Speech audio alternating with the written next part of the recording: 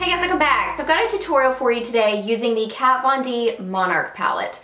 Oh my goodness, this is amazing. Um, I have a whole review and swatches video on this palette. I'll link it down below. This was my first time playing with it today for this tutorial and I just love it. These shadows are so incredible. Um, this palette is, it's a neutral palette. It's mostly warm toned, but it does have a couple of kind of cooler tones thrown in here, like a kind of a silvery taupe, and then this one in the middle I used on the inner half of my lid. It's kind of in between a gold and a taupe. It's beautiful, but all of these shades are just incredible. They are so gorgeous. So this is the look that I did today. Um, it's a neutral eye. It's mostly warm toned, but like I said, I threw in that color that has just a little bit of taupe to it, so it adds some dimension to the look. Um, but I really like it, so I hope that you enjoy the look. If you want to see how to get this eye, this kind of warm tone neutrally eye using the Monarch palette, then just keep watching. First we're going to start by priming our eyes. I'm going to be using my Fergie eyeshadow primer.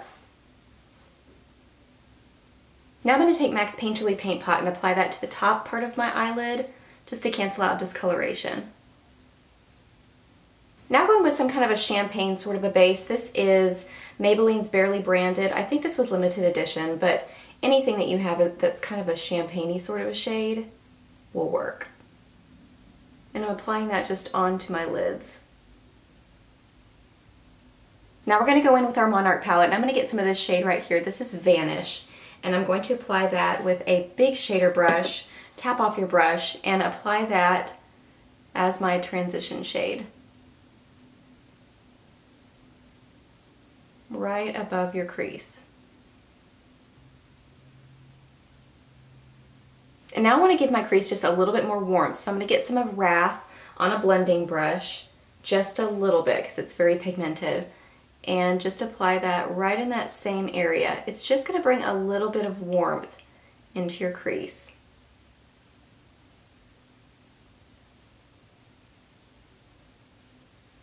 Now I'm going to go in with a small flat shader brush and get some of Telepathy and we're going to apply that to the inner half of our lids.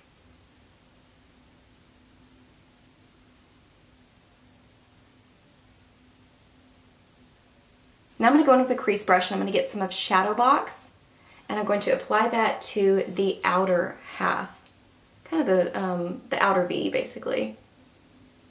Bringing that over into the middle part of your lid and then blending it over into your crease. It's again very pigmented, so be careful with it.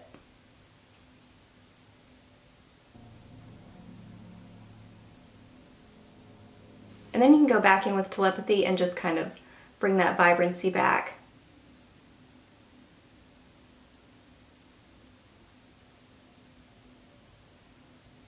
Now I'm going to go in with Entomology and apply that as my brow bone highlight.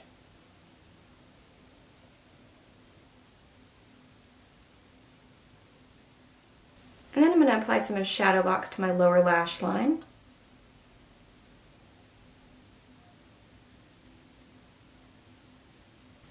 And then I'm going to apply some of Telepathy to the inner half of my lower lash line.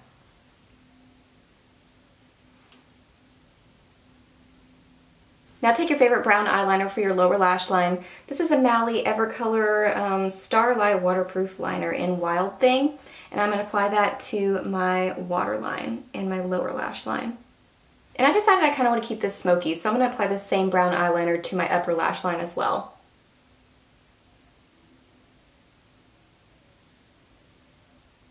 And I'm staying as close to my lash line as I can. I don't want a thick line. And now just curl your lashes and apply mascara. Today I'm going to be using my CoverGirl Clump Crusher and my, um, what is this, the Tarte Lights Camera Lashes.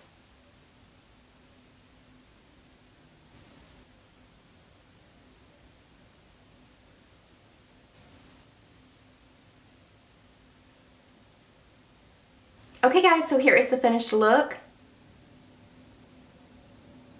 Stay tuned to find out what to use on the rest of my face. For foundation, I'm wearing my Estee Lauder Double Wear set with my e.l.f. High Definition Powder. This is so good. Love that powder. For bronzer today, I'm wearing my Physicians Formula. This is the like cashmere wear something something bronzer.